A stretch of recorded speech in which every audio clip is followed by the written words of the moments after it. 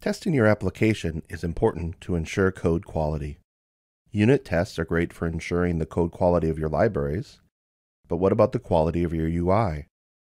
It is easy to create manual tests that a tester can walk through to test your UI, but it would be better to have a way to also automate this kind of test. Visual Studio 2012 includes something called a coded UI test that will do exactly that.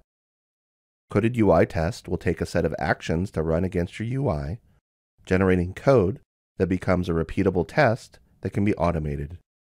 You can also easily add data that can be used to dynamically change the arguments for multiple runs of the test.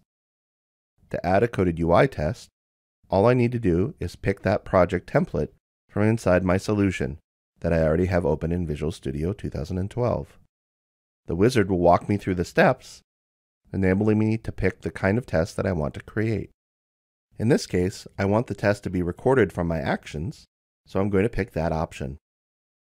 This will bring up the coded UI test builder, which will help me to record my actions. Once I'm done with my actions, the test builder will generate the test for me automatically. The coded UI testing facility in Visual Studio 2012 can help to increase the quality of your code by automating dynamic tests against your UI.